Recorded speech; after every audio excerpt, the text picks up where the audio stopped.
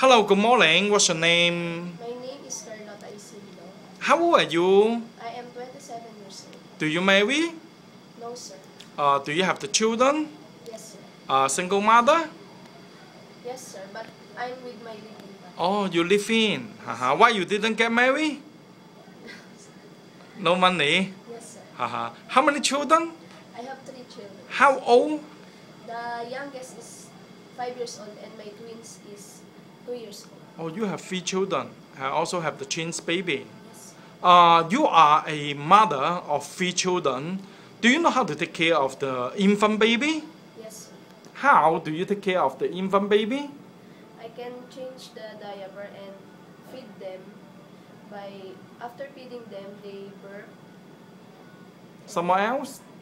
and when they cry they need to feed and the diaper is wet like that. hmm Do you enjoy to take care of the infant baby? Yes, sir. Uh, you love? Yes. Uh-huh. Uh, what is your working experience?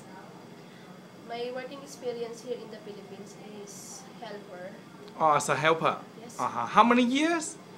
around two years, sir. Uh-huh. What are you doing? Cleaning the house, cooking, ironing, and laundry.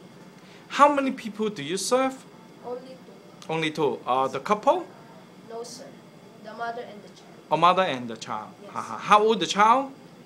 She's ano, 14 years old. Or 14 years old. Yes. Then teenagers. Yes. You no need to take care of teenager. Yes, sir. Haha, Only cleaning, cooking.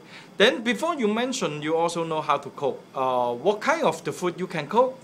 Um, Filipino food. Uh, for example, Um, sinigang na pork, pork sinigang, pork adobo, mm-hmm, pork apretada, mm-hmm, like that, delicious. Yes. Okay, okay. Thank you very much. Thank you.